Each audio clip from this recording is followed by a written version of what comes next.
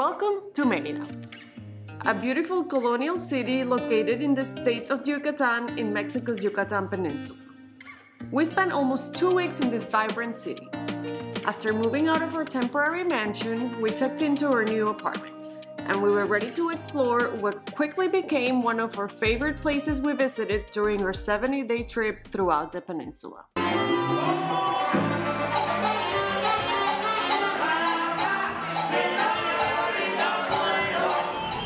Good morning guys, welcome to the beautiful city of Merida. This is the biggest city that we'll be visiting during our 70 day trip throughout the Yucatan Peninsula.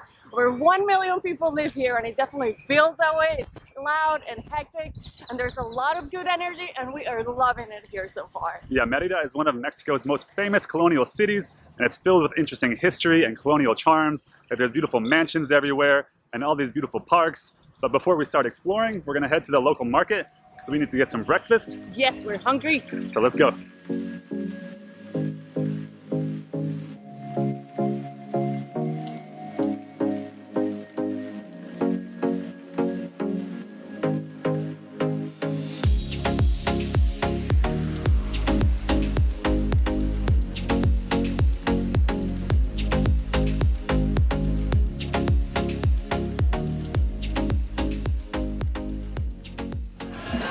Made it to Lucas de Galvez Market. This is the second market we stopped by. The first place was totally dead, but I'm happy that we ended up here.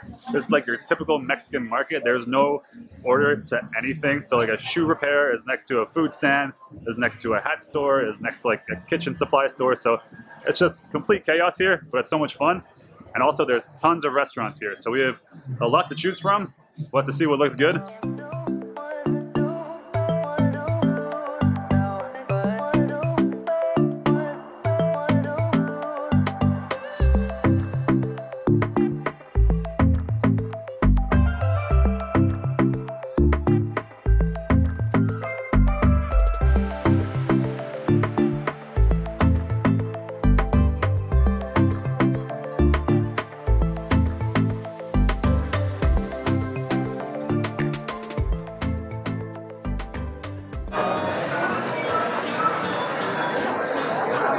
Feel like this is where we should be buying our food. Like it's not only so much cheaper, but everything looks so fresh, and everyone's like talking to you and asking you, "Oh, buy this, oh, buy this is 15, this is 10, this is that." So it seems like more of like a, an experience to do it here.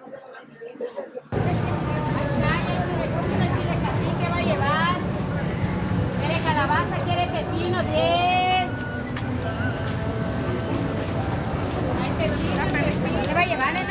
¿Quiere pepino? 10. Hay pepino, pepino. ¿Qué va a llevar, nena? ¿Quiere chaya? ¿Quiere calabaza? ¿Quiere pepino? 10. Gracias. Gracias. Tenemos torta de pastor, carne asada, palmutos, salbutes, cochinita, lechón, Okay. relleno eh, huevos al gusto a la mexicana, con jamón y mozzarella. Okay. Gracias. Let's get some food. I'm so hungry. Two hours later, and it's finally time for breakfast. It was so much fun exploring the market and just getting lost in all of the chaos. Now we're gonna enjoy our sandwiches, our tortas, and then we're gonna show you around the rest of Merida.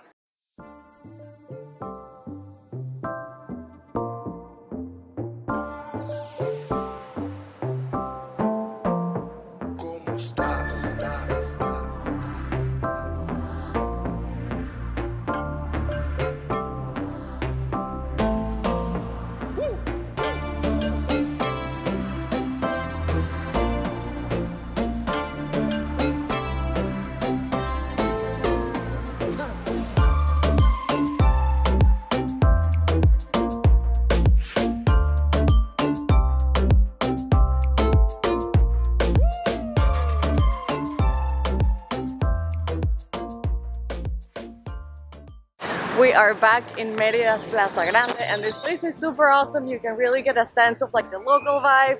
Everyone's like sitting down, I think because there's Wi-Fi, so a lot of people are just like sitting on the benches on their phone or reading.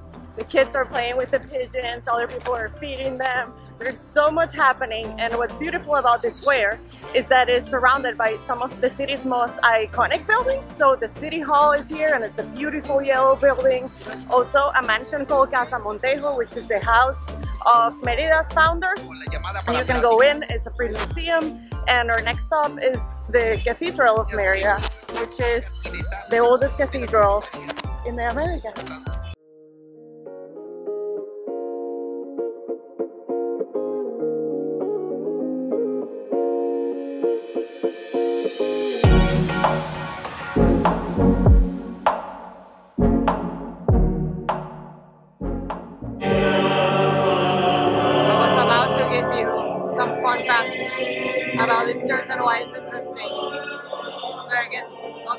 I'll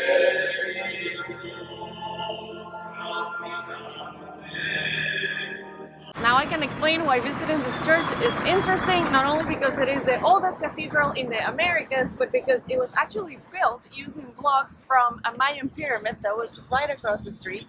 And the thing is that the Catholics back then, they didn't really like the Mayans that much because they idolized different gods and they had all their rituals and they didn't really respect that.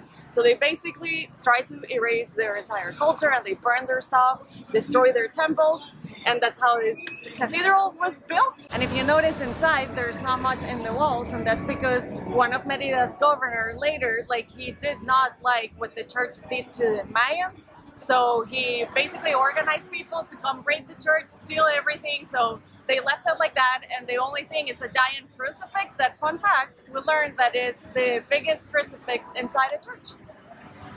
Fun facts for days in Merida.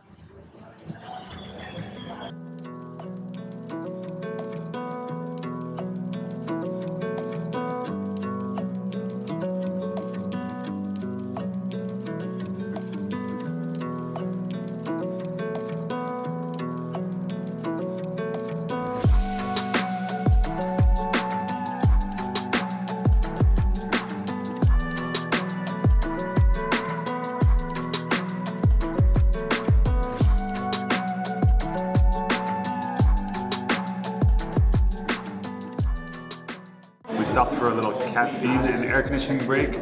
We're having an iced latte because it's already 92 degrees in Merida and it's getting to 98. It's super hot in Yucatan, but the coffee's pretty good. This is one of the best places in Merida for coffee. I think we're paying almost double what we paid for breakfast, but it's pretty good, so I'm not complaining.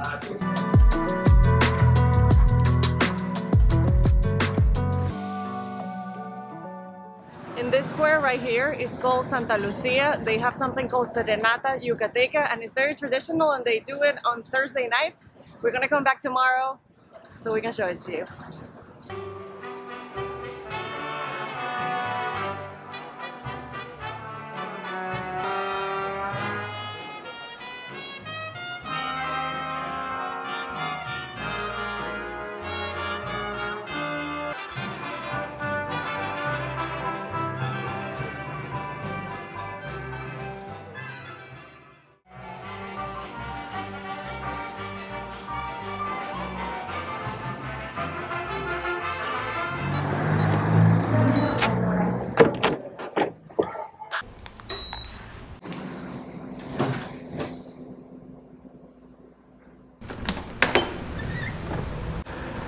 We're and now we are taking you to a place very popular called Paseo Montejo.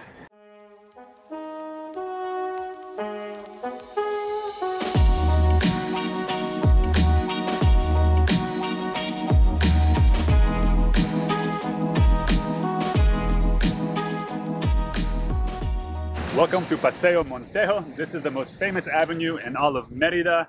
A quick history lesson for you guys. Francisco de Montejo, he was a Spanish conquistador, and he is the one that conquered this city from Mayans and then founded Merida.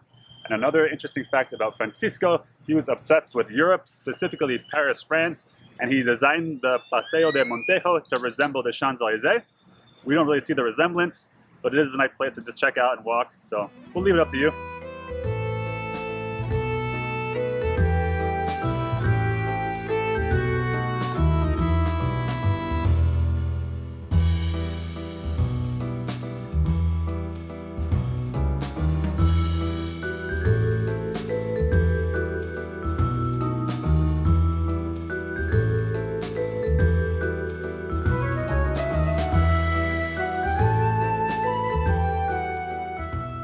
Building behind me is called El Minaret, and when we saw it on the internet, we were like, okay, we have to go see it.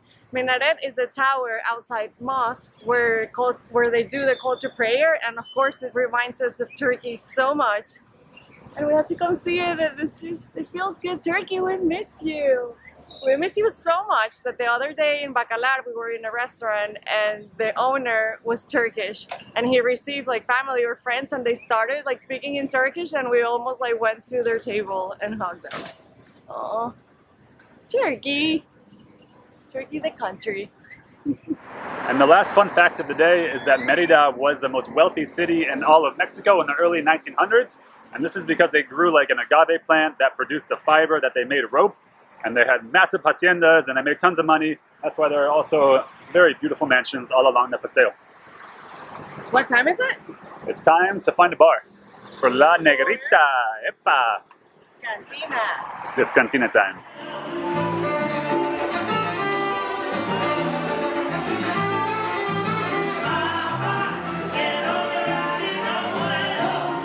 This is where we're doing drinks and dinner tonight. It's a traditional Mexican cantina. Cantinas are a little bit different because you enter with those like swinging doors and it's like mostly about drinking, but they do serve a little bit of food. But this one is especially famous for having great live music. It's been around for like 100 years and it's famous in Merida. You can already hear like the music coming in.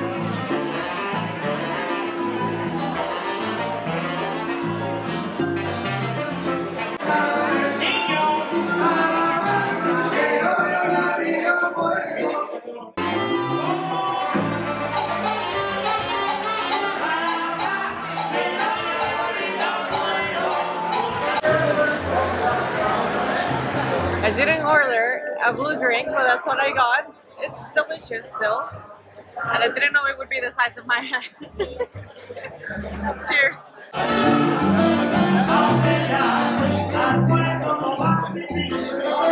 I like to dance in my chair.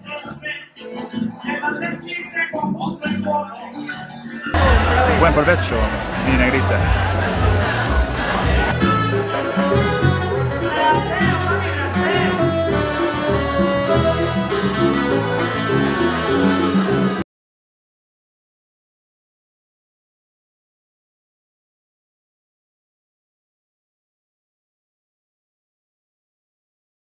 We almost forgot to close the video. We're on the way home. That cantina was fun, right? Yeah, it was a great time. It probably wasn't the most authentic cantina in town, but the band was super into it. They had good Cuban music. Everyone was dancing. Yeah.